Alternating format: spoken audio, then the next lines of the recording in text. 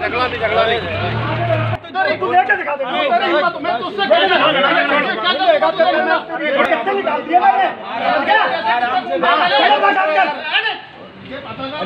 दाढ़ी बता ना साल भाई बात करो बात करो बात करो बात करो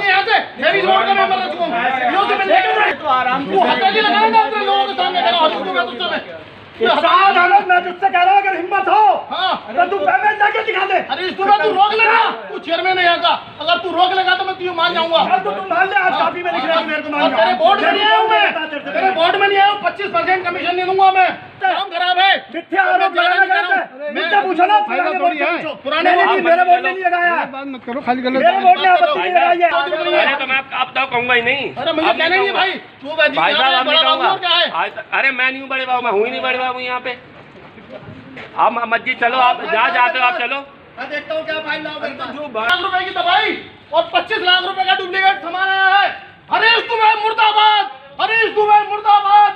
हरीश दुबे मुर्दाबाद। हरीश दुबे मुर्दाबाद। पच्चीस लाख रुपए की दवाई का गबन का घपला खुलासा हो बिजली के सामान का घुसला घपला खुलासा हो मैं हिसाब लूँगा तुमसे एक एक वीडियो बना लो वीडियो जो 25 लाख रुपए की दवाई शहर में बांटी गई है और 25 लाख रुपए का जो बिजली का सामान आया है, उसकी सबकी जाँच होनी चाहिए। उसकी जाँच होनी चाहिए कि सामान ओरिजिनल है या नहीं है। इन्होंने बिल्कुल पूरा 50 लाख रुपए का घोटाला कर दिया। पूरे घोटाले में लगे पड़े इसके अलावा इन्हें दूसरा काम नहीं है।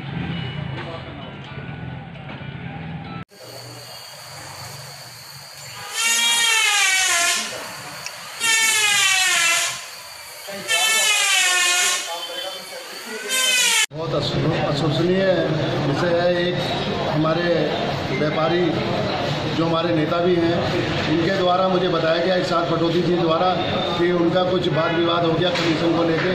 मुझे संज्ञान में आया है, बत्तीस परसेंट कमीशन वो सुचारू रूप से ले रहे हैं। और पचास लाख रुपए की। दवाइयों में अनियमितता हुई है। एक करोड़ दस लाख रुपए की स्वच्छता अभियान में अनि- अनियमितता हुई है जो कि जाँच का विषय है पूरी तरीके से। भारी घोटाला। बहुत ही भारी घोटाला जो कि क्या कहते हैं बिजली का सामान।